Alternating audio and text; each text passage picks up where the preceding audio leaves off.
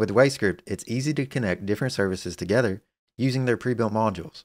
Each of these modules are just an API that we've built a visual interface for and you can use very accessibly. Now, let's take a look at how we can create a Slack notification when a new ticket is created. To do this, it's very simple, and all we have to do is within our true side of our if statement, so a new ticket was created from our create tickets interface, we can pull in a Slack module. I've already authorized Slack on my account using OAuth, but if you haven't, then you'll have to click Add Account.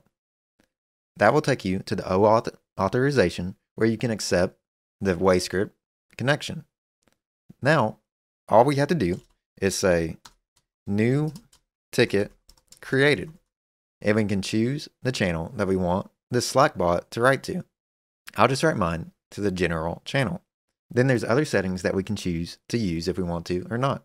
We can create a bot name, and then we can get back outputs if we want them too. I don't want to do any of this for this tutorial, so I'll just leave these as the default, off, and blank.